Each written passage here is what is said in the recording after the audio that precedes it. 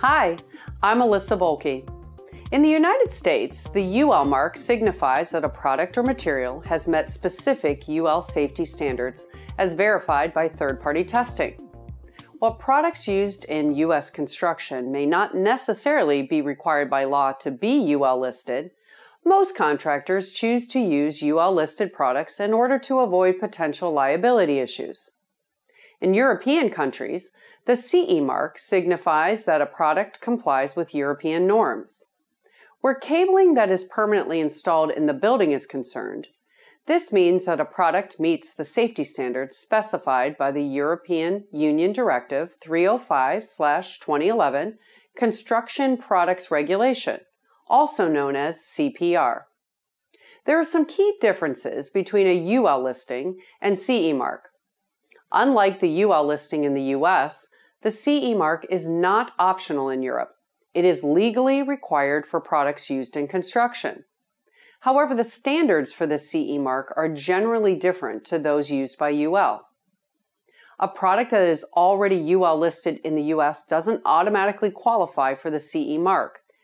If a UL listed product has also been tested to the European harmonized standards, then it may be eligible for CE certification. However, it still must receive a CE mark and have a declaration of performance certificate available before it can be used in Europe. Likewise, products that have received the CE mark are not automatically considered to be UL listed. This is in part because some product types with the CE mark do not have to be third party certified and are not necessarily compliant with US standards. Since many local codes in the US refer to UL safety standards, contractors will be looking for the UL mark to ensure that a product is code compliant. Of course, it is important to remember that safety and environmental codes can vary by geographic region or municipality.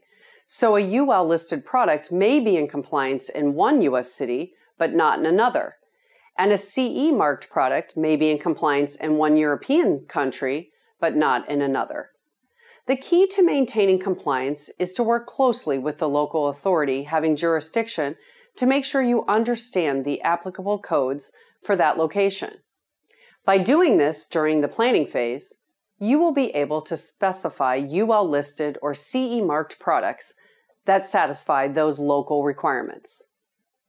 Anixter has experienced application engineers who are familiar with both US and European standards. Contact us to learn how we can help test and select products to meet the compliance specifications for your project. You can also learn more about CPR regulations by reading our tech brief on Anixter.com. Thanks for your time.